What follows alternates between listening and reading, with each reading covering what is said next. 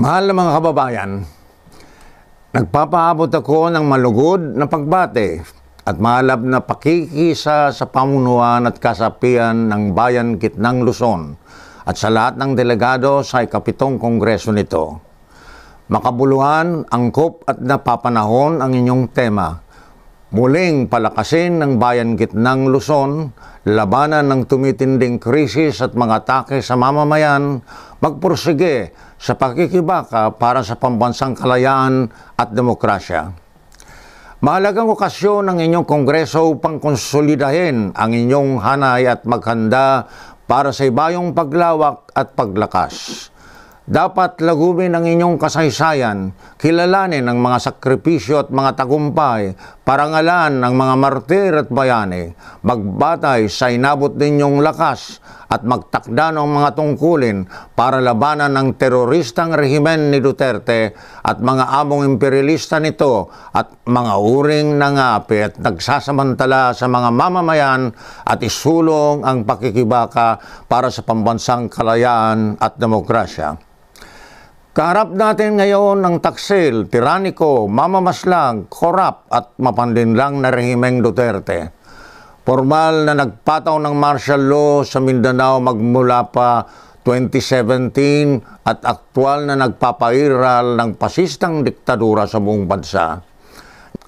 Nais nitong aktwal at formal na magpataw ng pasistang diktadura sa pamamagitan ng pagbasura sa konstitusyon ng 1987 at umangkin ng mga absolutong kapangyarihan. Marapat at makabuluhan ang paglalagom sa kasaysayan ng bayan Gitnang Luzon.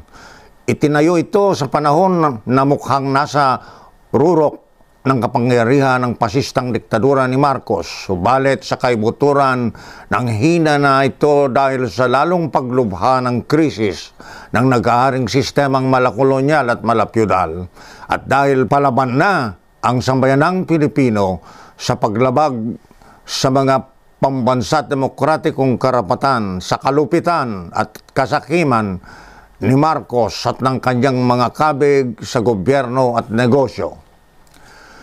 Nangahas noong 1982 ang ilang magigiting at kilalang personalidad mula sa mga prominenteng pamilya ng Angeles City na nanguna sa paglulunsad ng mga talakayan pagtitipon sa tulak ng antimperialista at demokratikong mga hinaing sa kalaunan na buo ng mga pagtitipong ito ang Concerned Citizens of Pampanga Nagtayo ito ng mga balangay sa iba't ibang bahagi ng probinsya ng Pampanga.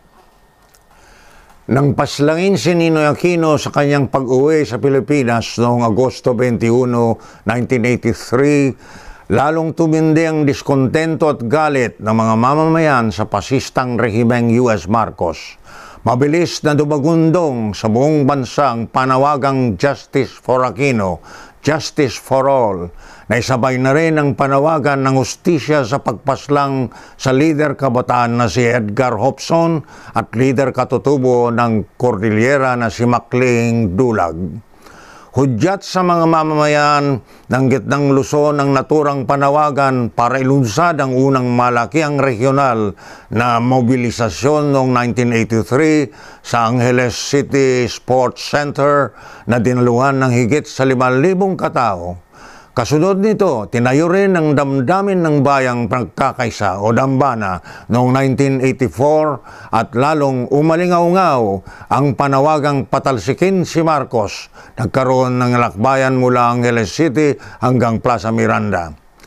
Kaugnay nito, umigting ang kampanya laban sa US military bases at nuclear power plant sa Bataan.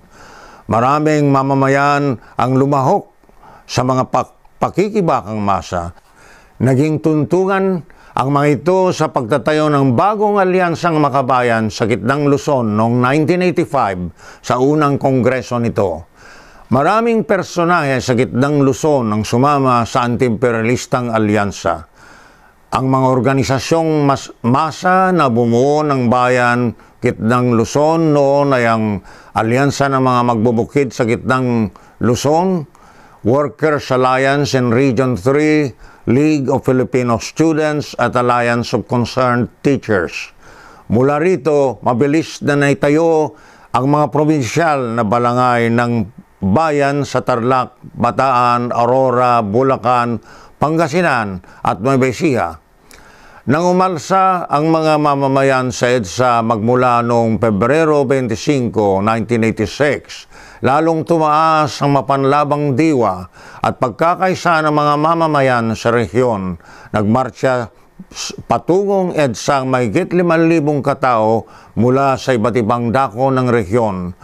Sumabay sila sa panawagang ibagsak ang pasistang rehimeng U.S. Marcos, naging matagumpay ang pakikibakang ito.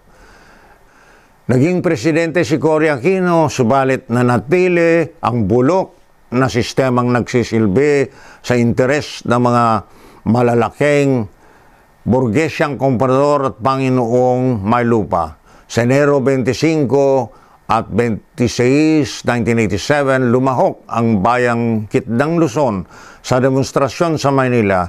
Dito nangyari ang karumal-dumal na Mendiola Massacre na kinamatayan ng apat na magsasaka mula sa Kitdang Luzon. Isa mula sa Bulacan, dalawa mula sa Bataan, at isa mula sa Tarlac.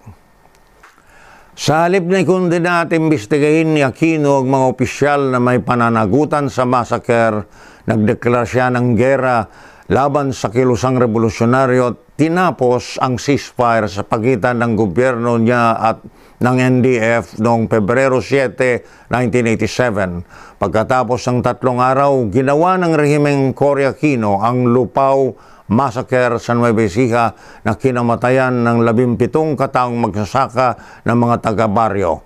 Dahil sa mga massacre, nanawagan ng bayan ng isang fact-finding mission at naglunsad ng mga kilos protesta para kondenahin ng rehimen. Naging maliwanag na kontra magsasaka at kontra revolusyonaryo ang rehimeng Cory Aquino. Naglunsad ito ng Oplan lambat bitag at marami pang mga mamamayan ang pinaslang. Umigting ang, ang antipiralista at antipyudal na pakikibaka. Walang mapagpilian ng mga mamamayan at mga puwersang revolusyonaryo, kundi paigtingin ang armadong revolusyon. Lumaganap ang panawagang buwagin ang mga base militar ng US sa Pilipinas. Sa taong 1988, binuo ng Central Luzon Alliance for a Sovereign Philippines o CLASP upang pagtingin ang antimperialistang pakikibaka. Tumibay at lumawak ang pagkakaisa ng iba't ibang sektor at naglunsad ng iba't ibang pagkilos. Sa taong 1989, naglunsad ng lakbayan ng mga estudyante ng UP Diliman patungong Clark Air Force Base. Nagsagawang bayan gitnang Luzon ng mga dambuhalang kilos protesta sa harap ng Clark Air Force Base. Noong 1991, nagpasyang Senado na huwag nang panatilihin ang mga basing militar ng US sa Pilipinas. Noong 1990, pumutok ang Mount Pinatubo at halos natabunan ng abo ang Clark Air Force Base. Nagdulot ang pagputok ng bulkan ng matinding pinsala sa kabuhayan ng mga mamamayan sa gitnang Luzon. Sumunod na sakuna ang malakas na lindol ng 1991. Binuo at kumilos ang concern para tugunan ang krisis na dulot ng mga sakunang ito at tumulong sa mga biktima nito. Binure ng ugnayan bilang isang organisasyon ng mga biktima ng Mount Pinatubo, gayon din ang Citizens Disaster Relief Center sa mga probinsya ng rehiyon dahil sa sama-samang paglaban ng mga biktima na ipagtagumpay nilang may giit ang mga pabahay, resettlement at kabuhayan. Sa kanyang panahon magmula 1992, puspusang ipinatupad ni Ramos ang neoliberal na patakaran sa ekonomiya. Isinigawa ang malawak na privatisasyon ng government corporations, public utilities at prime land ng gobyerno pati Fort Bonifacio. Linuwagan ang pagpasok ng mga monopolyong korporasyon sa pribadong konstruksyon, pagmimina at iba pang negosyo. lumaki muli ang foreign debt, bumilis ang palabas na daloy ng tubo at lalong naging atrasado ang ekonomiya. Napagkasunduan ng reaksyonaryong gobyerno at ng NDF ang The Hague Joint Declaration bilang balangkas ng usapang pangkapayapaan noong 1992. Sinundan ito ng iba pang mga kasunduan Subalit, madalas sagkan ng mga imperialista at reaksyonaryong militar ang pagsulong ng usapan. Wala silang nais kundi mag-surrender ang kilusang revolusyonaryo at patuloy ang mga kampanyang militar sa panunupil. Sa Setyembre 20, 1996, ginanap ang pulong ng Regional Council ang bayan gitnang Luzon para lutasin ang mga kaguluhang sumisira sa pagkakaisa ng mga kasapian ng bayan. Sa pulong na ito, pinatalsik ang buong kalihiman ng bayan dahil sa matinding paglabag sa antimperialista at demokratikong prinsipyo ng alyansa. Muling nagtuon ng bayan sa pagpapatibay ng pagkakaisa at sa konsolidasyon. Noong 1998, inaprubahan ng Rehimeng Estrada ang Visiting Forces Agreement na nagpahintulot sa deployment ng mga puwersang militar ng US sa ating bayan. Kinundena ito ng bayan bilang malaking pagyurak sa pambansang kasarinlan at sa matagumpay na pagpapalayas ng base militar mula sa Pilipinas. Bagamat pinirmahan ni Estrada ang Karil o ang Comprehensive Agreement on Respect for Human Rights and International Humanitarian Law. Lumabag siya sa mga laman ng kasunduan. Lumagablab noong 2001 ang ERAP Resign Movement dahil sa diskontento ng mamamayan sa korupsyon at pangangayupapa ni Estrada sa Estados Unidos. Tuluyang pinatalsik sa Estrada ng masa. Noong 2003, inilunsad ng Rehimeng Arroyo sa gitnang Luzon ang Oplan Bantaylaya sa pamumuno ni General Hubito Palparan na nagsagawa ng halos araw-araw na pagdukot at pagpaslang ng mga lider at miyembro ng mga organisasyong masa. Pinaslang ang maraming lider ng bayan noong Nobyembre 2004, ginawa ang malagib na Hacienda Luisita Massacre Bunga nito, nabuo ang Gloria Resign Movement. Noong 2006, ni-raid ang opisina ng Bayan Gitnang Luzon at dahil sa matinding paglabag sa karapatang pantao ng rehimen, nag-apela ang bayan sa Regional Peace and Order Council sa Clark. Lalo pang pinagting ang kampanyang talsik kasunod ng Hello Garcic scandal ni Gloria. Ngunit sa gitna ng mga pasistang pag-atake, unti-unting bumagon ang mga mamamayan at lumaban sa karahasan. Noong 2009, nakapaglungsad ng transport strike ang mga tsuper na nilahukan ng maraming mamamayan sa rehiyon kahit na illegal na inaresto ang pitong leader nito sa Angeles City. Sa panahon ng rehimeng Noynoy Aquino mula 2010, pinarap ng bayan ang malaking issue ng corruption sa gobyerno. Mahusay na napamunuan ng bayan ang paglaban ng mga mamamayan laban sa pork barrel system at matagumpay na nakapaglunsad ng kampanyang nilahukan ng malakiang bilang ng mga mamamayan na umabot sa milyon sa People's Initiative para tanggalin ang pork barrel. Naglunsad din ng lakbayan ng mga mamamayan para patampukin ang isyu ng korupsyon.